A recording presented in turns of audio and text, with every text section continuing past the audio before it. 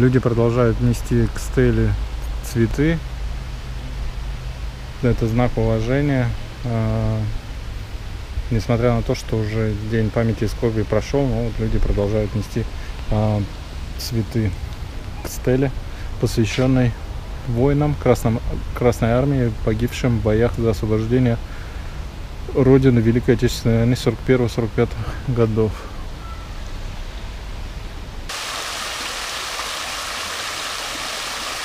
Кольцо бастионов. Замок Германа, старейшая часть нарских укреплений, построен в основном Ливонским орденом в 14-16 веках. Вокруг замка возник город Нарва, который в конце 14 века был обнесен городской стеной. Не сохранилось. Сохранившиеся городские укрепления построены во время шведского владычества. Там у нас эстонская граница. А здесь ворота в замок.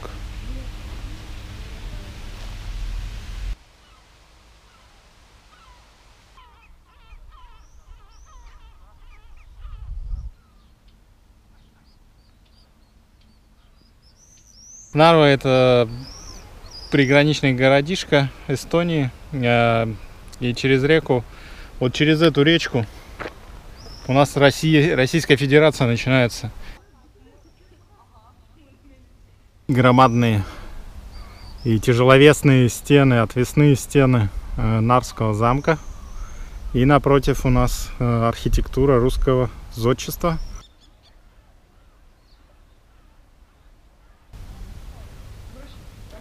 Известняк. Известняковые породы очень характерные для данного региона. Также и Копорская крепость была построена из известняковых пород.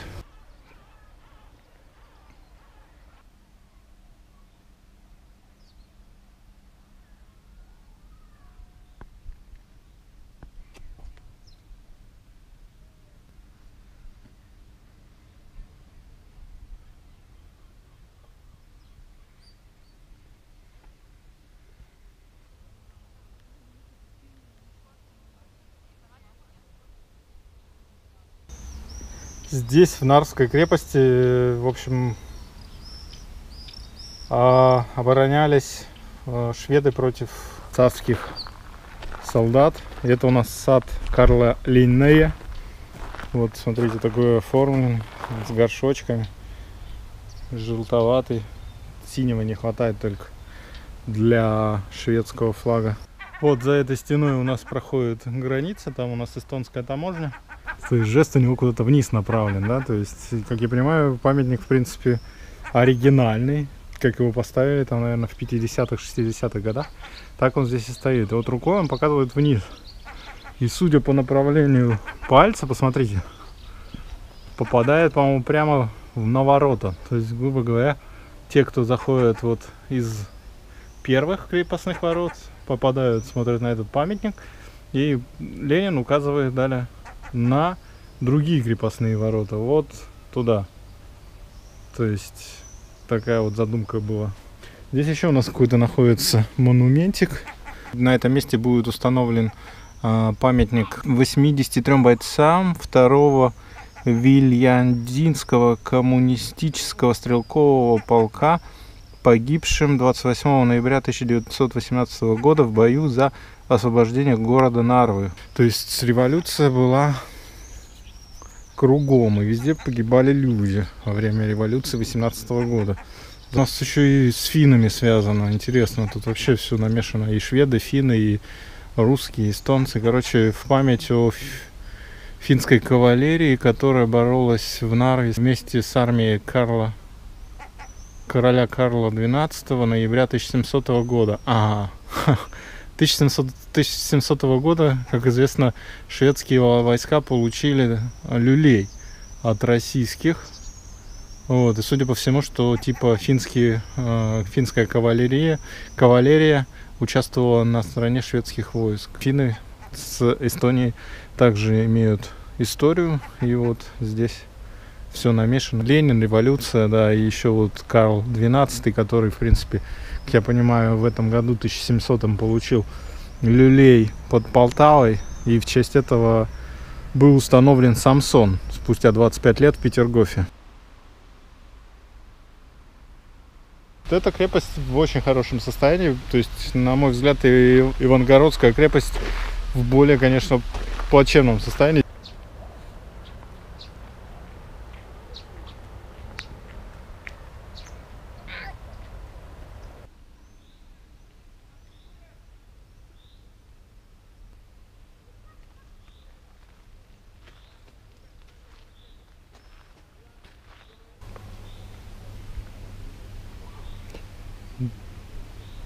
Тут, конечно, и не спустишься просто так к набережной.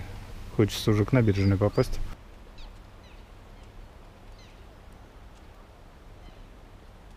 Вон там у пограничного столба у нас российские погранцы с собачкой. Не знаю, похоже на овчарку, но черная. И это самое, и люди прогуливаются, гуляют, а погранцы там тоже, ну, походу можно гулять, видимо.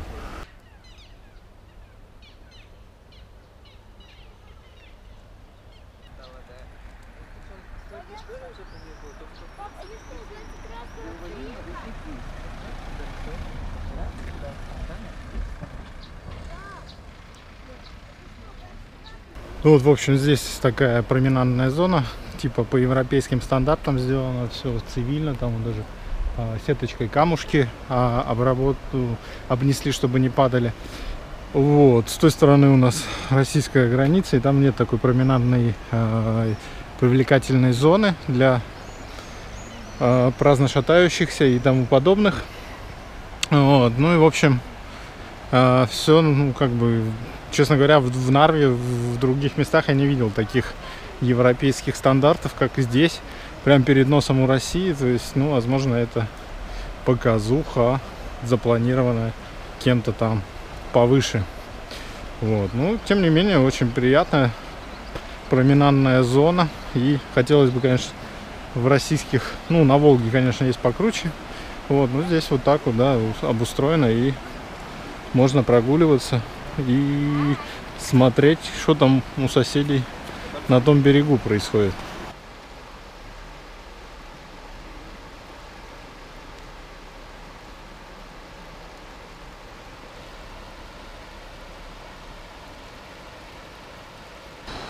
Ну вот он, а, знаменитый пропускной пункт Ивангород-Нарва.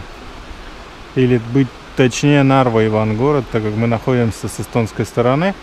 Вот, и здесь вот поэтому под этим навесом проходит пеший пропускной пункт. То есть люди, туристы проходят по этому мосту под навесом. Ну, как вы видите, ни одного человека нету, сейчас граница закрыта. Вот такие солнечные часики здесь установлены, в том числе, в том числе с э, перечислением сезонов в разные времена года. А, солнце по-разному светит. Описание, как все это работает. Если интересно, прочитайте. И я, соответственно, да, сейчас нахожусь здесь. Прикольная променадная зона, оборудована красиво. На стороне, на той стороне я ни разу не был, честно говоря. То есть всегда проездом был здесь. И вот как бы... Ой, очередной у нас грузовик поехал. Коммерческий груз, так называемый. Пропускают. И посмотрите, достаточно быстро сейчас пройдет. Ну, в общем, первый раз я прогуливаюсь здесь, по Нарвской стороне. На Ивангородской не было. Всегда мне доводилось только миллион раз пересекать из Питера в Таллин на автобусе э, эту границу. А вот тот грузовичок как раз таки прошел границу и уже проехал. Смотрите, как все быстро проходит. Второй день, вторая попытка прохода через эстонско-российскую границу. Сегодня с утра часовые дозвоны были до погранцов российских, до э, оперативного штаба Ленинградской области по коронавирусу. Конечно, как вы понимаете, все, все они не отвечают. Очень долго э, дозвоны сбрасываются постоянно. В общем, ситуация такая. А погранцы, в общем, ответили, сказали, что это не их компетенции а, относительно карантина. Звоните в Роспотребнадзор. Туда я звоню уже часа два и без толку. Роспотребнадзор не отвечает на звонки оперативный штаб Ленинградской области на шашлыках, поэтому вот такая фигня.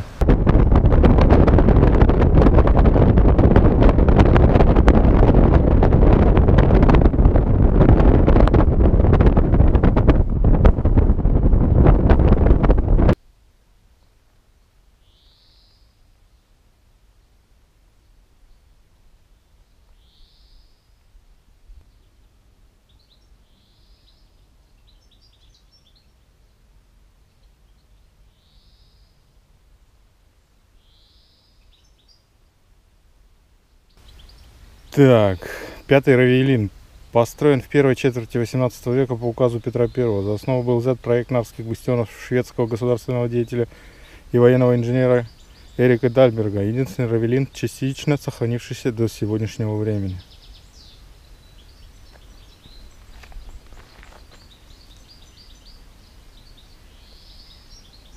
Восстанавливают понемножку. Вот можно видеть, с этой стороны уже восстановлено.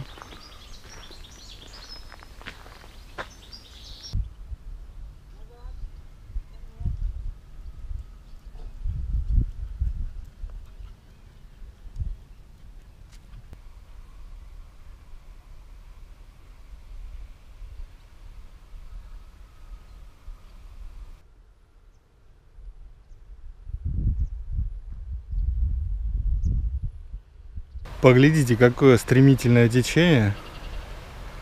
То ли это связано с тем, что через километров 15 э, а, река впадает в Финский залив, либо связано с э, сбросом на местный ГЭС. Здесь, кто не знал, есть даже ГЭС, построенный в советские времена. Суровая Нарская крепость, ее стены – и где-то там скрывается башня Германа. Ну и вот напротив российская э, Ивангородская крепость.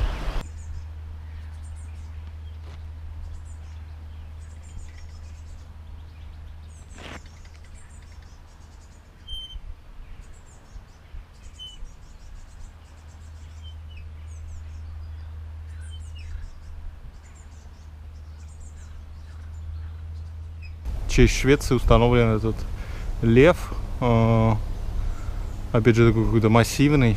Не то, что э, Самсон, лев, которому разрывает пасть Самсон в Петергофе. Там он прям как парящий, ну, конечно, по-другому выглядит. Вот. И это вот все находится рядом с Нарской крепостью, замок Германа – Здесь у нас влияние в основном Швеции было. Но также и Тевтонский орден здесь присутствовал. Вы же понимаете, приграничные города это всегда такой момент тонкий. С той стороны Ивангород, что с этой стороны Нарва. А приграничные города всегда привлекали меня тем, что мне было интересно, как люди мыслят в этих городах. То есть, в принципе, у них очень сильное влияние как одной страны, так и другой страны. К примеру, допустим, есть деревушки в Италии, в Альпах, где такой треугольник, где три страны граничат Швейцария, Австрия и Италия. И, в общем, получается, что в этих деревушках а, рождаются территориально итальянцы, а говорят они по-немецки. И по, по факту они просто итальянцев, особенно с юга, ненавидят вообще. То есть э, очень много всяких разборок, допустим, тот же Царский регион в Германии, который раньше принадлежал, точнее, который раньше принадлежал Германии, а сейчас принадлежит Франции. После войны он отошел Франции. В общем, куча всех этих э, приграничных нюансов. Постоянно эти города приграничные переходят то одним, то другим. В общем, ну, суть здесь такая. И, а, в принципе, я думаю, жители, которые населяют эти города, они это прекрасно понимают, что они просто в какой-то момент могут оказаться первыми под ударом. И их менталитет, ну, уже настолько, как бы, я думаю, а, гибок. Тут и табличка нашлась, ну, не перед самим памятником, а чуть-чуть поодаль. Если заходить с, сбоку, то в принципе на эту табличку не попадаете и вот только на выходе она мне попалась.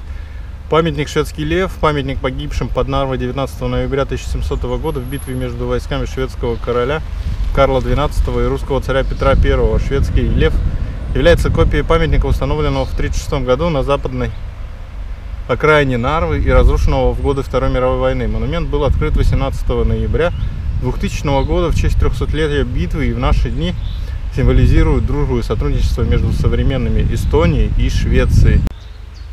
Это второе граффити в Нарве, которое мне попалось. В общем, здесь есть тоже свои эти граффити-райтеры. Нашел третье граффити в Нарве. Оно уже такое достаточно старинное. Видите, там даже стены уже успели подделывать. Третье граффити в Нарве, это уже круто. И прямо вот таки, таким протестом под лютеранской, под стенами лютеранской церкви. Железнодорожного вокзала и автобусной станции у нас сразу находится плакат. Э, соответственно, здесь вы можете найти все достопримечательности Нарвы. Первым, конечно, стоит Нарвский замок, потом Александр... Александровский собор. Памятник Пушкина я не видел, памятник Паулю Ктересу, шахматисту эстонскому видел. Вот они очень гордятся им. В общем, получается, из всего перечисленного, конечно, привлекает Нарвский замок, Затем, затем, затем стоит, конечно, хотелось бы посетить художественную галерею. И, и, и, и променад это вообще просто шикарный, вообще очень классно сделан. Там можно гулять очень долго.